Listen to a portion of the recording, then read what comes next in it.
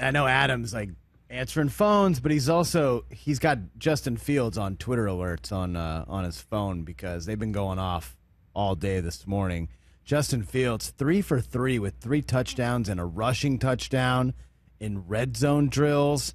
Uh, Adam Hodge says there's no doubt the best quarterback on the field today in Bears camp was Justin Fields. Only incompletion was a drop in the back corner of the end zone on a good ball. All of Fields' talents were on display. Jeff Dickerson, who covers the Bears for ESPN, Fields was on fire during a deep red zone period versus the Dolphins. I mean, what are we waiting for in Chicago? I could talk about this all day. Like Justin Fields just lighting it up. Why should Andy Dalton be the week one starter? What's the thought process there? Walk me through it.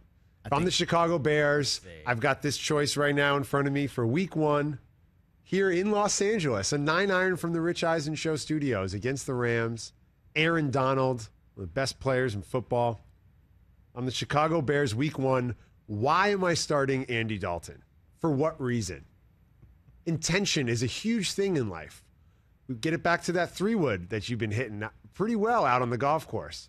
What's the intention behind it when you're hitting it from 260 out? It's not to get to the green, otherwise, you'd be doing that for a living and not this. It's to get it as close to the green as possible to set up your next shot. You could spray it, you could top it, you could hit it fat, you could put it in the woods. Hit a seven iron to 30, 40 yards out, you're right there. So, what's the intention behind it? What's the intention of starting Andy Dalton? Why would you do that? The point of you play to win the game, right? Coach Herm Edwards, you play, to win the game. Play to win the game. And with the Packers, I think taking a step back this year, that division wide open. NFC North. You don't know what you're going to get from Jared Goff out in Detroit. Minnesota, I don't believe in Kirk Cousins. And the Bears, I got a real shot to get back in the playoffs here. So why would you play Andy Dalton? I- Seriously, I mean crickets from the peanut gallery here. Yeah, why I- I would you do that? Did they give him ten million bucks or something? Like I don't know. Are you financially committed to him?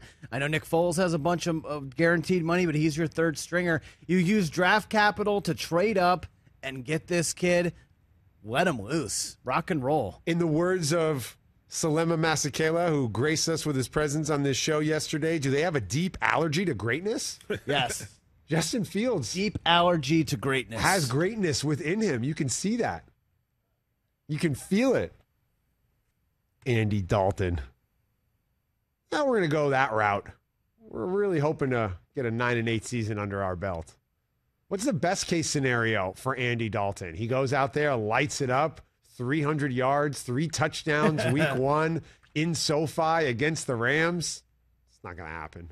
That's no. It's not going to happen. I mean, it's unlikely. You say, "Will that happen?" or the field it not happening. I mean, you take the No, field. I'll say that's not going to happen. Andy Dalton will not throw for 300 yards in week one. I'll go on wax with that.